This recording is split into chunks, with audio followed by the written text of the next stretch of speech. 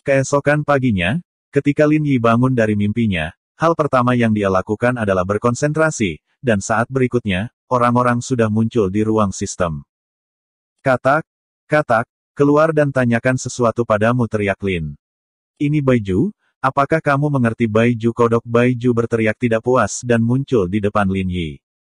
Saya merasa kekuatan saya tidak cukup sekarang, bagaimana saya bisa menjadi lebih kuat Lin Yi bertanya. Aku sudah memberitahumu hal semacam ini sejak lama, jangan tanya aku bagaimana menjadi lebih kuat, aku hanya punya satu saran untukmu, menagih uang, selama kamu menagih uang, kamu bisa menjadi lebih kuat kata kuda itu. Dengan keras. Tapi aku kehabisan uang sekarang. Lin Yi menghela nafas. Apa maksudmu? Apakah kamu ingin menghabiskan uang dan kemudian menjadi sangat kuat lagi? Tanya kuda putih kodok. Benar, Apakah ada layanan seperti itu Lin Yi tersenyum. Ia dalam tatapan penuh harap Lin Yi, Kodok Baiju berkata, sekarang keluar dari sistem, balik, kembali tidur, semua yang ada dalam mimpimu sampai jumpa lagi. Sebelum Lin Yi bisa mengatakan sepatah kata pun apa, telah dikeluarkan secara paksa dari ruang sistem. Nenekmu brengsek Lin Yi memarahi, sepertinya jika kamu punya uang untuk bepergian ke seluruh dunia, sangat masuk akal untuk mengatakan bahwa kamu tidak bisa berjalan tanpa uang. Saya tertekan ketika saya tiba-tiba teringat bahwa saya masih memiliki sesuatu untuk digunakan. Setelah mengambil keputusan, Lin Yi langsung pergi ke tempat Lin Ba tinggal dan menyentuhnya. Begitu saya sampai di pintu, saya mendengar suara-suara menderu datang dari dalam.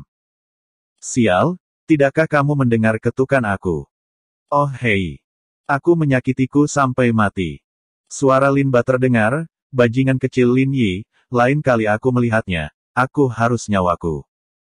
Linti mengangkat alisnya, tanpa ragu-ragu, dia menendang pintu hingga terbuka dan melihat seorang adik lelaki membius Lin Ba yang telanjang. Pagi, pengurus rumah tangga besar, kita bertemu lagi.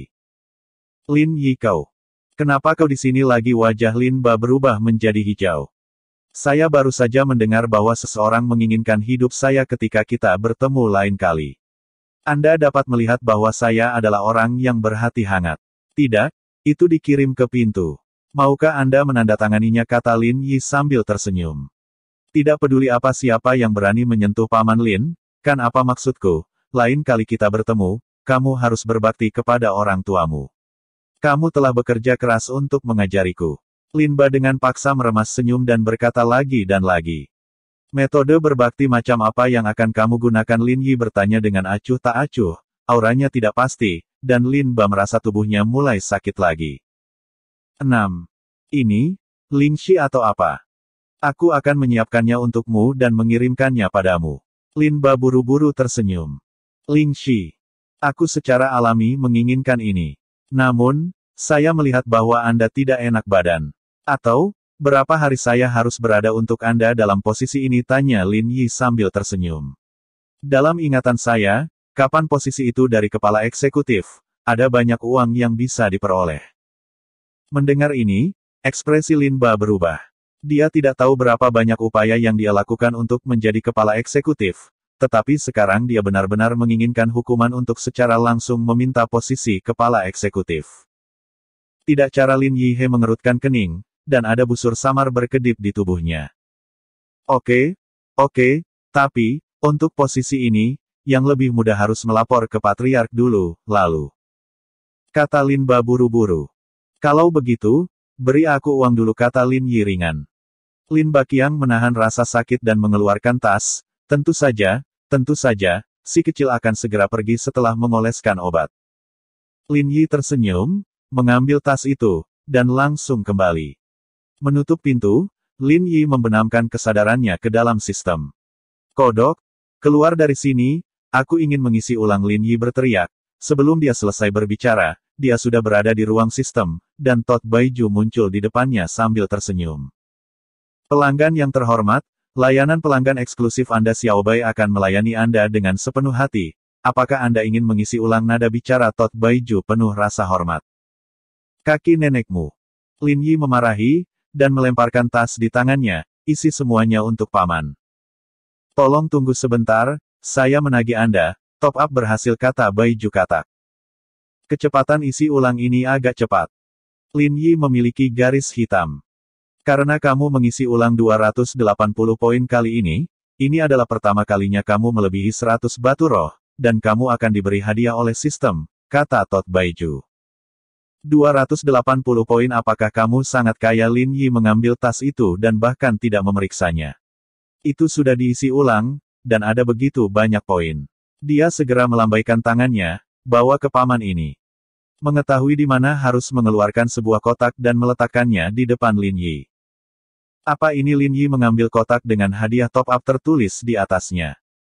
Kamu perlu membayar 30 poin untuk membukanya, apakah kamu ingin membayar suara sistem keluar?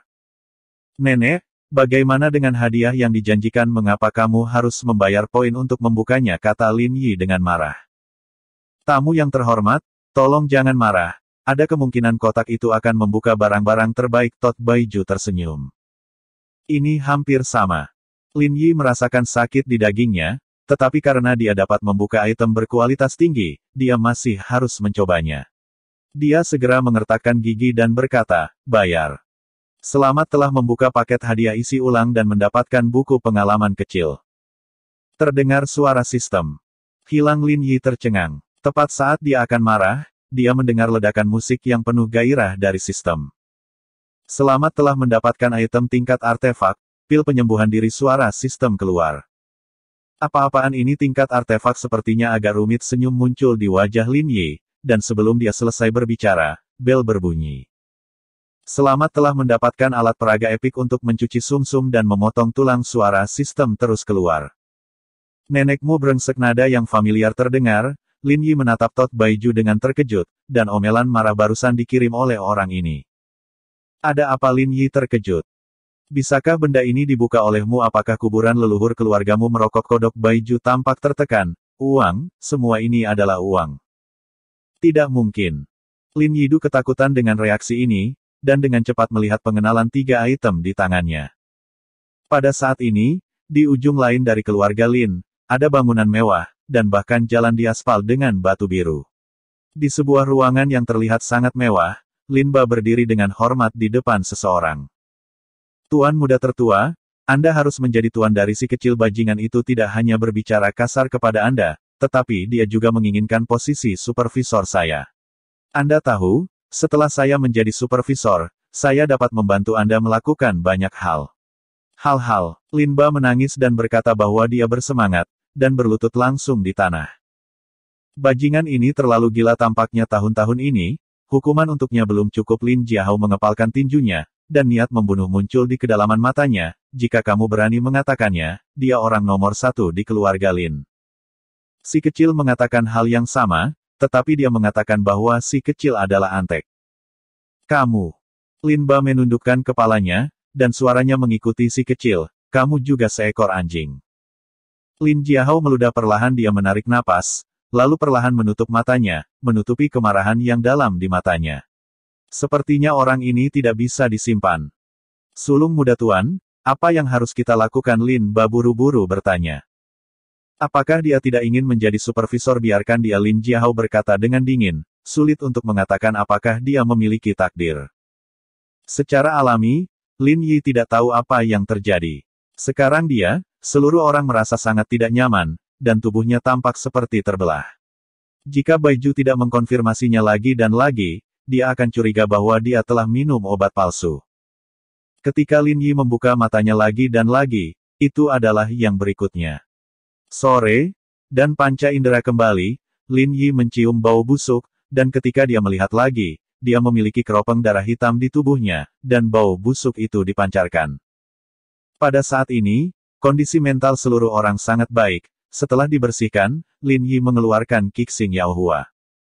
Karena kamu sudah mencuci sumsum -sum dan memotong tulang, ayo habiskan Lin Yi menjilat bibirnya, mengambil Kixing Yao Hua di tangannya, dan mengatakan sesuatu di mulutnya, kelinci kecil, tolong buka pintunya. Kixing Yao Hua Hua Hua sebagai titik cahaya, itu menyebar di depan Lin Yi, dan kemudian semua mengalir ke tubuhnya. Dengan masuknya titik cahaya, sejumlah besar informasi dituangkan ke dalam pikirannya, yang mengejutkannya, ketika informasi memasuki pikirannya, tidak ada rasa kelesuan, dan tubuh tampaknya secara aktif menerima pesan-pesan ini. Mungkinkah karena perubahan bakat fisik Lin Yi berpikir dalam hati, memusatkan seluruh perhatiannya pada latihan ini. Waktu berlalu sedikit, dan pada saat tertentu, tubuh Lin Yi bergetar, dan sebuah gambar tiba-tiba muncul di depannya. Perspektif seluruh gambar adalah pada pedang raksasa merah, berubah menjadi semburan, dan jatuh ke dalam dirinya dengan ganas. Sebelumnya, Lin Yi tiba-tiba membuka matanya, langit sudah cerah, dan Kixing Yaohua telah menyelesaikan studinya. Apa itu? Gumam Lin Yi, dengan sedikit keraguan di matanya, tapi sekarang, yang paling dia pedulikan adalah atributnya sendiri. Segera memobilisasi atribut mereka sendiri. Nama Lin Yi. Jenis kelamin pria. Level killing level 4 level. Kekuatan level ultimate rookie. Qualification level genius. Kuasai keterampilan untuk menjalankan Thunder Fist.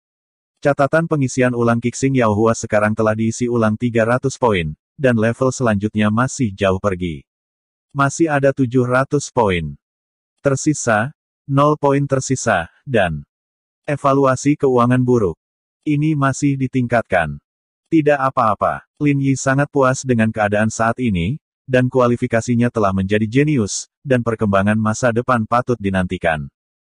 Ketika dia melihat apa yang bisa dia gunakan, dia juga memiliki buku pengalaman kecil di tangannya. Setelah menggunakannya secara langsung, dia mencapai peringkat kelima killing. Perubahan seperti itu juga diharapkan oleh Lin Yi. Bagaimanapun, kekuatan saya telah meningkat, dan pengalaman buku pengalaman kecil diperbaiki, tetapi nilai pengalaman yang diperlukan untuk peningkatan secara bertahap meningkat. Diperkirakan buku pengalaman kecil ini tidak akan berguna di masa depan. Itu sepertinya kalimat itu masih benar, menagih uang membuat orang bahagia, selama kamu menagih uang, kamu bisa menjadi lebih kuat senyum muncul di sudut mulut Lin Yi, selama aku tidak aktif sebentar, aku akan menjadi lebih kuat, belum lagi keluarga Lin. Saya berjalan menyamping di dunia ini. Hei, saya tidak tahu bagaimana saya mempersiapkan posisi supervisor saya. Lin Yi menggerakkan ototnya dan berjalan menuju tempat Lin Ba. Ketika mereka sampai di pintu, mereka melihat Linba berdiri dengan hormat di pintu, sementara di dalam, ada seseorang yang duduk di sana. Lin Jiahao ketika saya melihat orang ini, gelombang kemarahan muncul dari hati saya, dan saya secara alami melahirkan rasa jijik yang belum pernah terjadi sebelumnya, seperti ketidakcocokan bawaan. Saat itu, orang ini, menekan dirinya sendiri di mana-mana, dan hampir bunuh diri berkali-kali, tubuh ini sangat membenci orang ini. Aku dengar kamu ingin menjadi supervisor melihat Lin Yi, Lin Jiahao bertanya dengan dingin, matanya penuh penghinaan. Ketika kamu memiliki kekuatan, kamu secara alami memenuhi syarat Lin Yi berjalan tanpa sombong dan duduk di samping Lin Jiahao.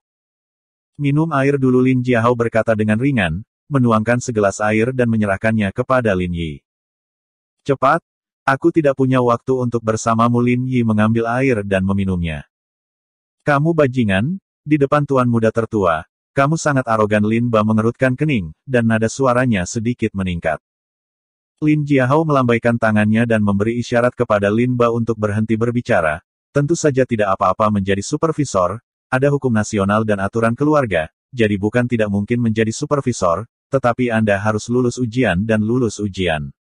Tes sebelum kamu bisa menjadi supervisor. Direktur.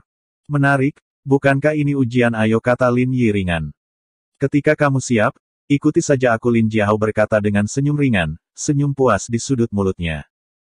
Sekelompok tiga orang datang ke pintu kamar menurut deskripsi Lin Ba, Lin Jiahao sudah memiliki kontrol dasar atas kekuatan Lin Yi. Buka pintunya, seseorang ingin memintamu untuk belajar satu sama lain begitu Lin Jiahao membuka pintu, dia melihat seorang pria berdiri dengan marah. Orang ini, Lin Yi tahu sebelumnya, bernama Lin Tian, duri terkenal di keluarga Lin, yang kasar kepada Lin Jiahao dan yang lainnya, dan memukul dan menendang orang seperti Lin Yi. Mari kita belajar dari satu sama lain kamu dapat berbicara lurus ketika kamu mencari kematian cepat dan keluar dari sini kata Lin Tian dingin. Kalahkan dia dan kamu bisa menjadi pengawas Lin Jiahao berkata sambil tersenyum ringan. Lin melirik Lin Tian, tersenyum tipis, dan berjalan masuk, ayo, jangan buang waktumu. Lin Jiahao kamu ingin menyingkirkanku dan menjadi gila, apakah kamu ingin sampah seperti itu kalahkan aku jika bukan karena fakta bahwa kamu memiliki Lin atas namamu, omong kosong ini pasti sudah ditendang oleh keluarga sejak lama Lin Tian berkata sambil mencibir. Aku sudah cukup sabar untuk berbicara denganmu Lin Yi berkata perlahan, nadanya menjadi serius. Kamu ingin menahan Laozi dan tidak ingin menanggungnya lagi Lin Tian dalam suasana hati yang sangat buruk, tinjunya mengepal, dan dia meninju Lin Yi tanpa basa-basi, sampah yang tak tahu malu sepertimu. Melihat dua orang berkelahi, wajah Lin Jiao penuh dengan senyum. Anjing menggigit anjing itu luar biasa. Bab ini belum berakhir.